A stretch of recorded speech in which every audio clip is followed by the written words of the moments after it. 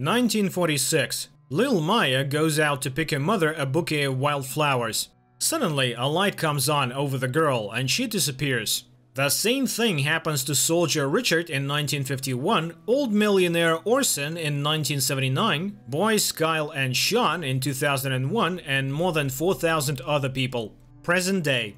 While sitting in the hospital next to Kyle's bedside, Tom listens to a report about a comet that will pass close to Earth. Tom's wife, Linda, enters the room. The three years while the guy has been in a coma have not been easy for the woman, and she wants a fresh start in life the Department of Homeland Security in Seattle. Diana is urgently called to work, where she's informed that the comet has changed course and increased its speed, descending directly upon the Earth. Several countries launch missiles hoping to shoot down the strange object, but people prepare for the disaster, calling their loved ones to say goodbye. The comet begins to slow down as it enters the atmosphere. Diana calculates the point at which the object is about to land. It turns out to be very close to the department. Hundreds of people arrive emergency services, journalists, police, and FBI agents. In front of them, the sphere falls from the sky. The sphere abruptly disappears, leaving behind thick mist from which 4,400 people emerge, looking around in astonishment. Among them are Richard the soldier, the old millionaire, Little Maya, and all the others. They all look the same as the day they disappeared, even though it was different years of the 20th century. Tom leaves his son and goes to Ryland to get permission to return to duty, but Dennis is in no hurry to agree, realizing that Tom has a personal interest. His nephew is among those who have returned. Ryland finally agrees, and despite Diana's displeasure, he pairs Tom with her, assigning them to examine the returning 4400 people. Over the speakerphone, Sean is asked to come in for an interview. Seeing his uncle makes the guy happy that he can talk to his own family man. But it turns out that all three years Tom has been convinced that his nephew has hurt Coolio, which put him in a coma, and escaped. While sitting in the waiting room, Richard meets Lily, who turns out to be the granddaughter of the girl the soldier was in love with in 1951. A month and a half passes, and the district court upholds the request to release the detainees. Diane disagrees and demands that the crowd be isolated from the surrounding area, but the 4,400 people go free. Of them, 130 do not understand where they are going. Among them is little Maya, who has no relatives left. Richard and Lily say goodbye, and the woman is about to return to the family she has not seen in 11 years. But Lily does not see her husband among those meeting her. The girl makes it home, but her husband Brian asks her to leave and announces that he is married and she has no place in their lives anymore. Orson finds his wife in a nursing home, and he too finds it hard to hold back tears, thinking of all the time he has lost. Richard arrives in St. Louis to his old address, but now he finds a den of homeless people there. Tom brings Diana to a party organized in Sean's honor, so his partner can be convinced that those who returned are no different from the rest of the people. After leaving his colleague for a while, Tom goes outside to see Sean to apologize and say he's glad he's back. During the conversation, a bird falls near the men, shattering on the glass, but as soon as Sean picks it up, the bird comes to life and flies away. Maya is taken into custody by her family, and as she says goodbye to Diana, the girl says they will see each other very soon, much to the agent's surprise. Orson returns to the company he once created himself, but his companion refuses to give him a job. The foster parents assign Maya a room, and the girl puts her shoes on a chair, claiming that her sneakers might get wet on the floor. This surprises the couple, and they have no idea what they are talking about. The first night out is hard for everyone. Richard spends his time at a cafe. Sean receives threats written on his car. Lily wanders the streets, not knowing where to go, and at Maya's foster parents' house, a pipe from the washing machine bursts and floods everything. Orson goes to his former companion's house. The cowardly businessman decides not to open the door, but when the old man shakes the bars of the gate, the whole house begins to shake and the windows fly out. Moments later, Orson begins to scream, and it causes Adam's head to burst and the traitor to fall to the floor. Sean comes to school after a long absence, but the boy has a hard time. His peers do not want to accept the return. Orson also feels rejected. He's not charged, but they won't let him go either. When Diana begins to read the man's statement, he goes berserk again, and everything around him begins to shake. Maya arrives with her guardians at the cemetery to visit her parents. The girl is happy that they rest in a beautiful place, but she also promises her foster parents that their cemetery will be no worse. A new shock awaits Lily. She goes to the doctor with a bout of nausea and learns that she's about to have a baby. After finishing his business, Orson hurries to the nursing home but finds his wife's bed empty. After learning that his wife has passed away, the old man stages a mayhem. Lily meets her husband and tells him about the pregnancy, but naturally the man does not admit his involvement. In addition, he refuses to let his wife see his daughter, warning her that he will sue if there are violations. One of the guys won't stop picking on Sean, and the guy pins the abuser to the ground and holds his hand and pulls the life out of him. The guy manages to be saved, but by doing so, Sean scares the crowd even more. Maya's foster parents are frightened. The man says he no longer wants to see the strange girl in the house, and without even hearing the conversation, she packs her things. The couple bring Maya back to the quarantine facility, and the frustrated mother advises her to be careful about her predictions. Richard finds Lily in the park. The couple go to a cafe, and Lily tells her friend about the baby she's about to have. Richard, in turn, tells the girl about the affair he had with her grandmother. Tom and Diana arrive at the house where the returned is hiding. Orson does not believe the agents and asks to be left alone, starting to wreck everything again. To calm the old man's attack, Tom has to fire a shot. The returned man is taken to the hospital, and Ryland instructs his subordinates to find out what other talents the travelers have in order to prevent more tragedies. Upon learning what happened, Sean recalls the bird that came to life and the classmate who almost stopped breathing. To test his hunches, the guy goes to his cousin's room and brings him out of his coma for a minute. Carl, one of the returned, returns to his job at the fishmonger's shop. Walking with his wife Grace after work, the guy reminisces about his past life. Not far from the couple, youngsters are playing baseball, and Carl himself does not understand how the ball ends up in his hand. Grace warns her husband that the local park has become dangerous, but against her warnings, the guy decides to walk through it late at night. And Carl is attacked by bullies. He doesn't mind giving them everything he has, but instead he decides to use his new powers to teach the bullies a lesson. Tom and Diana visit Maya. After she returns, many employees complain about the girl's predictions, and Ryland asks his colleagues to deal with it. Richard rents an apartment for Lily and her baby, and the girl asks her buddy to stay with them. Suddenly, Lily becomes ill and rushes out into the street. Carl tells his wife about what happened and happily informs her that he will revive the park and make it safe again. The doctor calls Tom and Linda and informs them of their son's brief brain surge and new chances. Tom learns that the night the sensors showed the spike, Kyle was visiting Sean. The agent goes to see his nephew, but he won't admit to waking up his cousin. The agents pay a visit to the department that is parsing hypotheses, but so far the only hypothesis is aliens. At Lily's request, the couple rents another apartment, and the girl is so happy that she doesn't hold back and kisses a friend. Kyle can't wait until morning, and already at night he goes to the park to start the work of cleaning up. The guy manages not only to paint a bench, but also to save a girl from bullies. Diana visits Maya in the lab, and the girl asks the agent to take her in, but Diana asks for time to think. The girl rescued in the park gives a statement to Tom and Diana. She describes the superhero and recalls that he smelled like fish. In the meantime, Lily does not give up hope of getting her daughter back, and in the evening she watches her through the window. Suddenly, the woman becomes ill and it gives her away, causing her to end up behind bars. Richard comes to Lily's ex-husband and asks him to withdraw his complaint, promising that the girl will never bother him again. Already in the evening, Lily is released and Richard arranges a romantic dinner for her. The man is willing to do anything for her and a romance ensues between the two. Nikki visits Sean's garage and accidentally burns her hand, but the guy removes the burn with one touch. The couple's meeting also ends with a kiss, even though Danny asked his brother to stay out of it.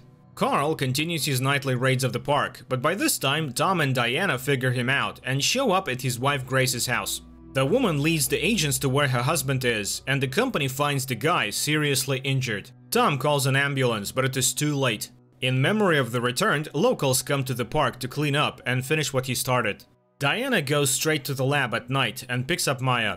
Tom also goes to the hospital. Kyle is transferred to the ICU because he has started having serious brain problems. It turns out that Oliver Knox, a serial maniac, was among the returned, and there have been new victims in town recently. The agents visit Knox, but of course the guy denies his involvement in the crimes. Sean can't stop thinking about his powers, and at night he goes to the place where the glowing ball recently took him. But Sean is not alone in visiting the foot of the mountain. Several dozen returns gathered there, experiencing adaptation in a new world. Here comes millionaire Jordan Collier, who is also among the missing. He tells the gathering that the whole world is against them, and he is ready to lend them a helping hand. Jordan invites everyone to his mansion to discuss how they will live their lives. Diana examines the place where the recent victim was found, and the agent manages to find a fresh fingerprint of the perpetrator. The maniac's name is established almost immediately, but he cannot be caught. The sheriff admits that he owes Knox an apology for the false accusation. The nanny Diana hired for Maya runs away and asks not to call her again. The girl's predictions continue to scare people. In downtown, a strange guy tries to get out under a truck, but nothing comes out, and then he loudly declares that he's the one responsible for the mass crimes. The agents arrive at the station, and Tom says that something strange is going on. Neither this guy nor the one who ended his life could have been maniacs from the past. In the Fed's opinion, Knox is the one responsible for the horrors, and it remains to be seen how he does it. The returned gather at the rich man's house. After learning about Lily's pregnancy, the millionaire gives her and Richard special attention, and he even offers the boy a job after learning that he is not hired anywhere.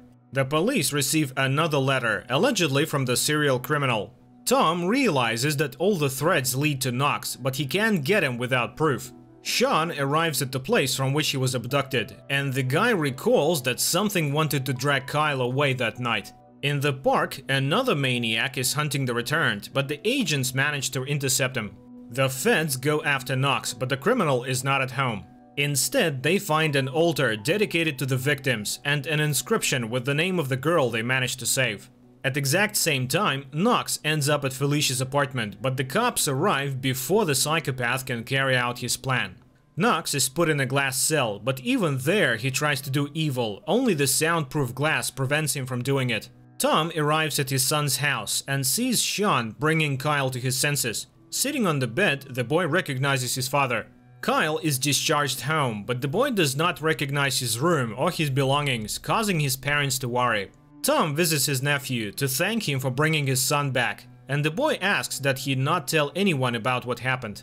Lily and Richard return home after a walk, and at the door the girl gets sick. This saves the family from misfortune, someone has booby-trapped their apartment door. Tom and Diana inspect the scene, and the woman tries to get information from her partner about Sean's connection to Kyle's awakening, but the agent remembers his nephew's request and says nothing. The returned millionaire gives Richard and Lily a house in a cottage community he built specifically for all the 4400 people. Tom catches Kyle in the act of tearing up pictures of the boy. He pushes his father away and confesses that everyone seems like a stranger to him. The millionaire's settlement settles in, but the agents try to convince Jordan that it is too dangerous to gather everyone in one place. Nevertheless, the millionaire is not going to back down, and Richard, becoming the head of the security, is going to help him. Diana comes to pick up Maya from school, and the principal asks her not to bring the girl anymore. Everyone fears getting hit if a hunt for her begins. Noticing her guardian's concern, Maya reassures her, promising that someone will make things right soon. Another return dies, this time it's Flower Girl Mary. The number of the 4400 victims frightens the agents and the situation grows more serious. Nikki breaks up with Danny and Sean decides to take advantage of the situation and asks the girl out. A man from Washington arrives at the department and upon learning of the agent's connection to the members of the 4400, he hints at their removal from the case. Linda asks Tom to go into Kyle's room and the man catches his son doing a strange thing. The boy is making marks on a map, and he explains that he is looking for himself. Sean leads Nikki to the shore of the lake over which he was dropped off by the balloon in the company of the other returned, and the couple have a great time doing nice things there. The agents find the laboratory where substances were created to destroy the returned, but the perpetrators have managed to escape. The feds managed to find out that the criminals are the siblings of one of the maniac Knox's victims, and now they are on their way to Sean's house. The trail turns out to be false, and the criminals escape, reaching the village of the millionaire. The security and Tom try to stop the van filled with explosives, and they manage to do so a second before disaster strikes. Kyle continues to lose his mind and eventually declares that he's an outsider and not at all who they think he is. The family brings the boy back to hospital, hoping that he will get help. All the while, the young man is flipping through channels without explaining exactly what he's looking for. Tom briefly leaves the hospital, and during that time, agents from Washington arrive, and the boy is taken away, despite Linda's pleas. Upon learning this, Tom complains to his colleague and demands that his son be given back to him. But the sent agent won't tell him where they have placed Kyle. Lily learns at the appointment that her baby has some sort of genetic abnormality, and the doctor orders a series of more tests. Richard accidentally overhears Jordan's secretary talking and learns that he regularly calls Lily's doctor. He tricks the security guard into getting him a printout of the boss's phone calls to check something out. His suspicions are confirmed, and Richard visits the doctor to find out why, after each visit to Lily, she reports everything to Jordan. It turns out that Richard is most likely the father of Lily's child. Diana manages to find out where Kyle is being held, and she and Tom plan to free the boy and hide him in a rented house, along with Linda. In the evening, the colleagues gather for the mission, and Maya, wishing the Guardian an easy job, says that they will find Kyle, and in him the answers to everything. The colleagues infiltrate the lab and free Kyle, who gives them the address to which they must take him urgently. Tom tries to take his son to the asylum, but he keeps insisting on the beach from which Sean was once kidnapped, so the agent has to comply. The millionaire summons Lily and shows her notes from old newspapers saying that Richard has been accused of assaulting young women. After talking to her husband, Lily understands why Jordan showed her this, and she asks Richard to leave the settlement as soon as possible. Danny learns of his brother's affair with Nikki, and when he arrives home, he tries to deal with Sean in front of his mother. Not wanting to hurt his brother, Sean just puts his hand on him, and Danny almost passes out, causing even his mother to look at the returned man as a monster. Jordan tries to stop the fugitives and grabs Lily, but as soon as his hand is on the woman's stomach, he immediately gets sick. But looking after the car, he still says that he will take the baby. To the millionaire's luck, Sean arrives in the village, telling him of his abilities and his problems, and asking to be allowed to stay. Tom brings his son to the beach, and the feds arrive there as well. In front of his father, Kyle unleashes a beam of bright light that shoots straight into the sky. The men seem to be paralyzed by the bright light on the outside, but they feel fine on the inside. Standing by the water, Tom hears an alien voice from Kyle's body. The agent is sure that all this is the work of aliens, but the voice gives out an unexpected clue. In fact, they are ordinary people who came from the future.